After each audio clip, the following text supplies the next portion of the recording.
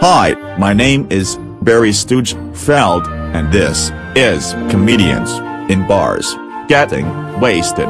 Today's guest is one of the nicest comics in the business, and one of my favorite comedians. He has more props than a rap album, more baggage than a Kardashian sister,